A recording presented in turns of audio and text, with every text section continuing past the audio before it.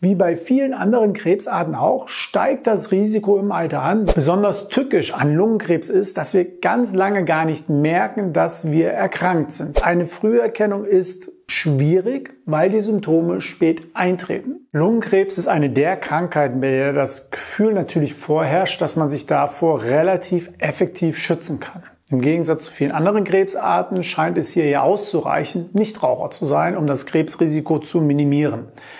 Die schlechte Nachricht ist, dass bei den knapp 60.000 Neuerkrankungen jedes Jahr in Deutschland auch viele Menschen dabei sind, leider, die seit Jahrzehnten oder sogar noch nie selbst Raucher gewesen sind. Das ist auch mal ganz wichtig zu wissen. Auch Stichwort Vorurteile, Stigmatisierung. Was Sie trotzdem zur Vorbeugung tun können, das schauen wir uns jetzt einmal an.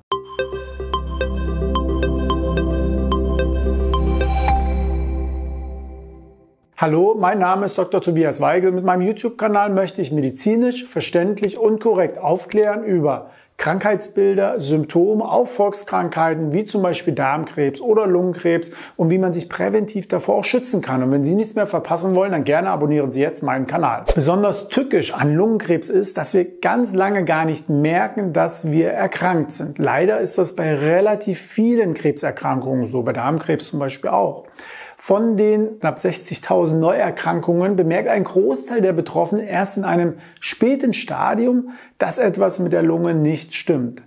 Dadurch, dass die Lungenfunktion nur langsam abnimmt und noch sehr lange aufrechterhalten werden kann, ist Lungenkrebs im Frühstadium also oftmals eher ein Zufallsbefund.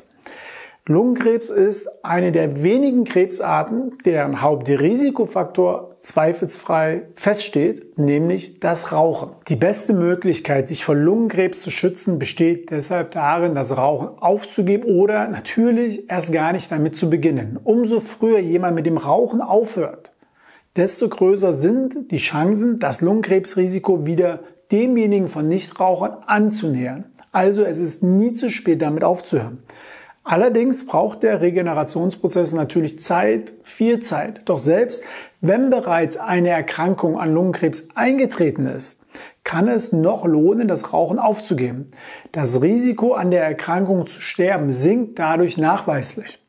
Und absichtlich bringe ich jetzt ganz am Anfang einmal das Thema Früherkennung auch weil es im Gegensatz zu anderen Krebserkrankungen, zu anderen Krebsarten beim Lungenkrebs bisher leider keine regulären Vorsorgeuntersuchungen gibt. Umso wichtiger ist als Ihr persönliches Engagement, Ihr persönliches Engagement, dass Sie selber darauf achten, ob sich Symptome entwickeln. Deswegen gehen wir jetzt einmal auf das Thema Früherkennung ein. Früherkennung. Bei Lungenkrebs sind die Heilungschancen umso größer, je eher der Tumor entdeckt wird. Zwei Drittel der Patienten, bei denen nicht kleinzelliger Lungenkrebs im Stadium 1 diagnostiziert wird, sind nach fünf Jahren noch am Leben. Also relativ viele, aber halt im frühen Stadium diagnostiziert. Hingegen haben die meisten Patienten mit einem ja metastasierten Tumor eine verbleibende Lebenserwartung von weniger als zwei Jahren. Ganz wichtig aber hier, man kann das nie pauschal beantworten. Wenn man als Arzt gefragt wird, wie lange kann ich noch leben, diese Frage kann man nie beantworten. Man kann da letztlich auch immer nur falsch liegen. Da Lungenkrebs jedoch in der Regel erst spät Beschwerden verursacht, hatte ich ja eben schon gesagt, wird er im Frühstadium fast immer nur per Zufall entdeckt.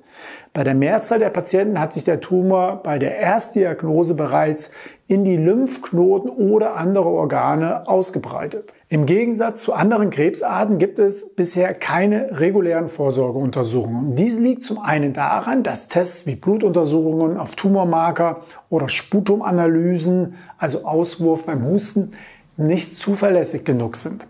Zum anderen konnte bislang auch nicht nachgewiesen werden wirklich, dass ein Screening beispielsweise mit einer Röntgenuntersuchung oder ähm, ein CT tatsächlich einen Vorteil bietet.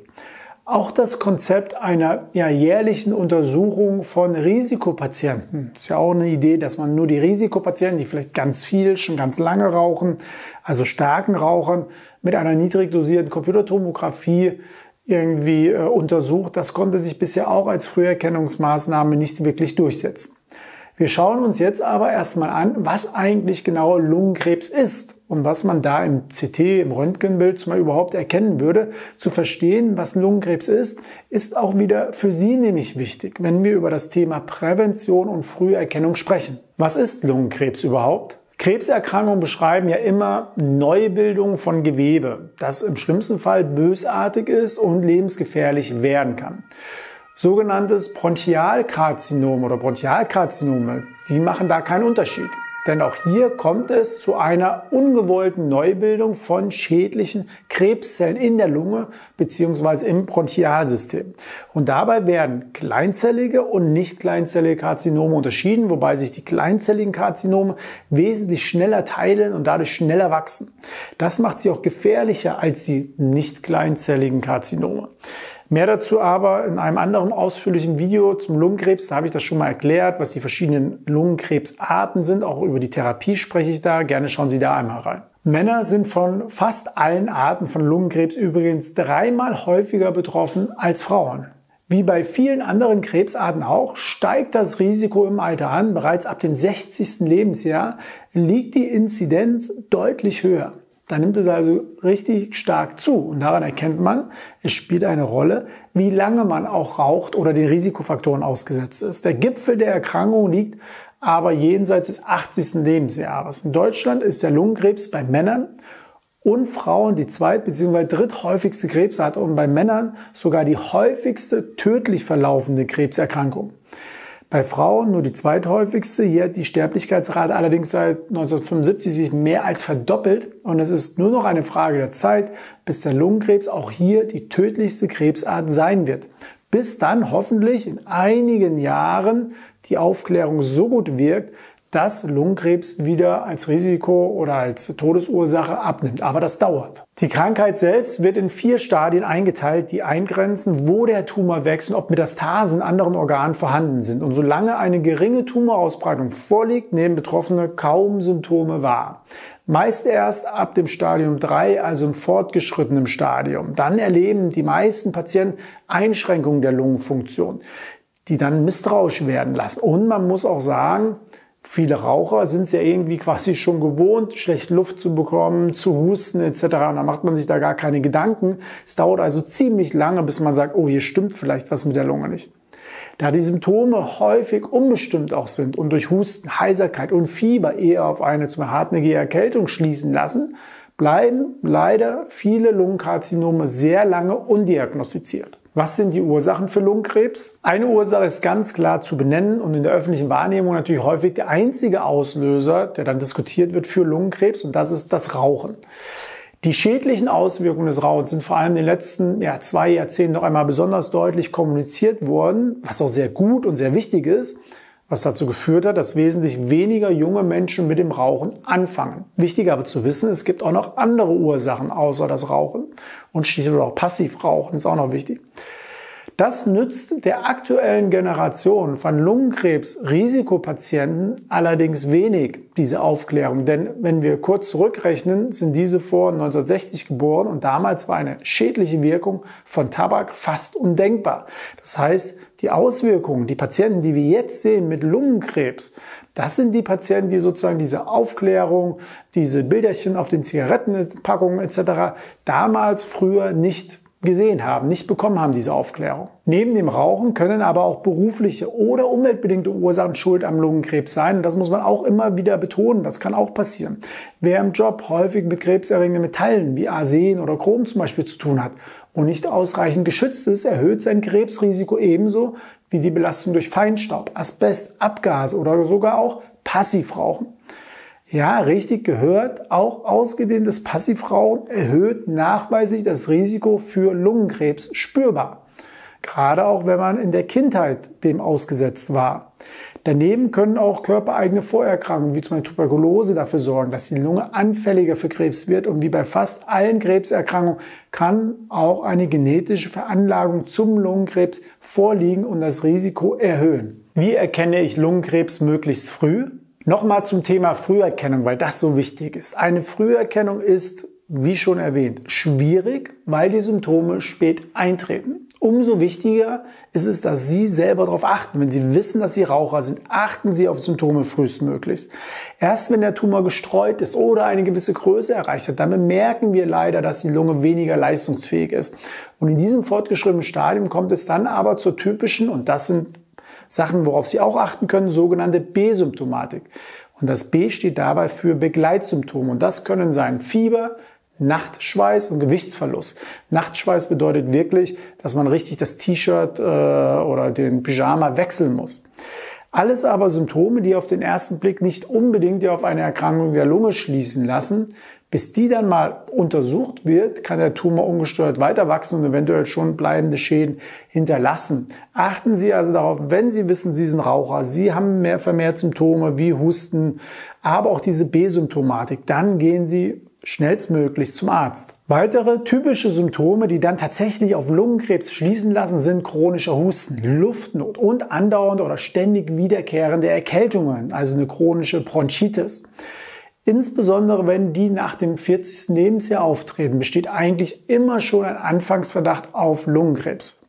Wenn Sie also bei sich bemerken, dass Sie viel häufiger als normal erkältet sind oder einen nicht erklärbaren Husten haben, und natürlich wissen, dass sie rauchen, dass sie vielleicht viel rauchen, könnte sich eine Untersuchung auf Lungenkrebs ja, lohnen, in Anführungsstrichen. Davor hat man natürlich selber immer Befürchtungen, Angst.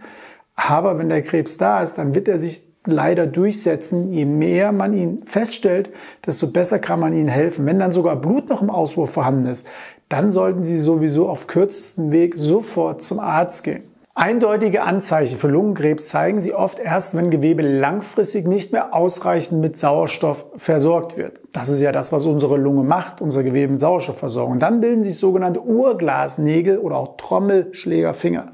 Urglasnägel beschreiben vergrößerte, rundlich geformte Fingernägel, während bei Trommelschlägerfingern die Endglieder der Finger ähnlich wie beim Trommelstock angeschwollen sind. Erkennt man wirklich bei Rauchern ganz gut. Schauen Sie mal drauf. Durch das Wachstum des Tumors kann er ebenfalls auf andere Organe natürlich drücken und dann abhängig von seiner Position auch zum Beispiel Schluckbeschwerden oder sogar Heiserkeit auslösen, wenn er beispielsweise auf die Stimmbänder drückt. Die Früherkennung selbst ist leider noch nicht ausgereift genug, um bei vermeintlich gesunden Patienten ohne Symptome sicher angewendet werden zu können. Die Belastung einer prophylaktischen Untersuchung ist dabei größer, also wenn man ein CT macht, als die mögliche Chance auf einen wirklichen Fund bei der Untersuchung. Man kann nicht pauschal erstmal jetzt jedem Menschen CT quasi geben oder jedem Raucher. In letzter Zeit sind allerdings, wichtig, vielversprechende Studien veröffentlicht worden, die einen Nutzen von Screenings bei Risikopatienten durchaus plausibel erscheinen lassen. Bei starken Rauchern empfiehlt sich daher ab etwa so dem 55. Lebensjahr eine regelmäßige Computertomographie, also ein CT, mit der ein potenzielles Lungenkarzinom erkannt werden kann. Was kann ich tun, um mich zu schützen? Zum Schutz vor Lungenkrebs kann man eigentlich nur versuchen, sich so gut wie möglich natürlich vor den Risikofaktoren zu schützen, die Risikofaktoren zu meiden. Und das geht einerseits, indem man beruflich und privat versucht, die Umweltfaktoren möglichst umfassend zu umgehen und sich nicht unnötig beispielsweise belasteter Atemluft auszusetzen. Ist natürlich nicht immer möglich, sowohl nicht privat, sozial als auch vielleicht beruflich nicht. In der Vergangenheit wurde beim Bau von Gebäuden häufig Asbest natürlich benutzt, das jetzt aufwendig ersetzt wird, damit die Luft in den Gebäuden nicht unnötig Krebs fördert. Dazu kann eine gesunde Lebensweise, und das ist ein wichtiger Stichwort, gesunde Lebensweise immer dazu beitragen, dass der Gesamtschutz des Körpers vor Krebserkrankungen möglichst hoch ist. Und hier sind zwei Stichworte wichtig. Erstens Ernährung und zweitens Bewegung und Sport. Da man aber nie genau sagen kann, was den Krebs letztendlich ja wirklich ausgelöst hat, können wir hier nicht effektiver leider vorbeugen. Eine gesunde Ernährung mit reichlich Obst und Gemüse kann nur empfohlen werden, ist also auch hier wichtig. So hat der Verzehr von Früchten offenbar eine schützende Wirkung von Lungenkrebs. Und dieser Effekt ist vermutlich auf Antioxidantien zurückzuführen, die eine oxidative Wirkung bzw. die oxidative Schäden an der DNA der Zellen verhindern und damit das Krebsentstehungsrisiko verringern. Und nochmal, es ist nie zu spät, mit dem Rauchen aufzuhören, selbst dann, wenn bei Ihnen bereits Lungenkrebs diagnostiziert wurde. Ein Rauchstopp ist die wichtigste Maßnahme, wenn es darum geht, Lungenkrebs zu vermeiden. In einem früheren Video habe ich ja auch alle Risiken des Rauchens schon einmal aufgezählt, also noch viel mehr Risiken als nur den Lungenkrebs. Wer mit dem Rauchen jetzt aufhören will, kann hier gerne einmal reinschauen, gerne einmal das Video da anklicken. Nochmal wichtig, jede nicht gerauchte Zigarette hilft auf lange Sicht dabei, keinen Lungenkrebs zu bekommen. Das muss man sich immer wieder einprägen, immer wieder selber sagen, weil oftmals hört man vom Patienten, ja, ich rauche ja eh schon so lange, das bringt ja gar nichts mehr. Das Lungenkrebsrisiko nochmal sinkt, wenn man mit dem Rauchen wieder aufhört. Allerdings braucht der Regenerationsprozess leider Zeit. Was dabei allerdings nicht hilft, ist der Umstieg auf E-Zigaretten oder sogenannte Tabakerhitzer. Diese enthalten zwar im Schnitt weniger Schadstoffe und sind damit rein theoretisch gesehen etwas gesünder oder sind gesünder als normale Zigaretten. Allerdings ist ein Großteil der Zigarettensucht auch die Angewohnheit, etwas zu rauchen. Und diese Angewohnheit wird weiter natürlich vertieft, wenn die Zigarette einfach durch etwas eher anderes ersetzt wird. Aber trotzdem wichtig, Raucher Umsteigen auf E-Zigaretten ist aus Sicht von Lungenkrebs definitiv sinnvoll und gut zu machen. Außerdem produzieren diese Geräte häufig auch andere Stoffe, bei denen aktuell noch gar nicht klar ist, wie sie langfristig aber auf den Körper wirken. Das muss man auch sagen. Eventuell sind die Erhitzer damit am Ende auch krebserregend, genauso krebserregend wie Zigaretten. Die unsichere Studienlage bringt mich dann auch wieder zurück nochmal zum Lungenkrebsthema, denn ich fasse jetzt noch einmal zusammen, warum Lungenkrebs in Deutschland als Volkskrankheit gilt. Warum ist das so? Denn wir haben eine Kombination erstens aus risikoerhöhendem Verhalten durch das Rauchen, und zweitens eigentlich keine funktionierende Früherkennung. Das ist das Schlimme eigentlich. Und drittens erst sehr spät einsetzende Symptome einer mitunter schnell voranschreitenden Krankheit. Wir merken es selber erst spät. Das führt dann im Endeffekt zu unserer Situation mit hohen Lungenkrebszahlen und der sehr hohen Todesrate. Es bleibt also nur zu hoffen, dass langfristig wirklich viel weniger Raucher nachwachsen. Lassen Sie uns jetzt gerne gemeinsam im Kommentarbereich darüber diskutieren, vielleicht auch Ihre Tipps und Tricks, die helfen, mit dem Rauchen aufzuhören. Vielen Dank und bleiben Sie mir treu.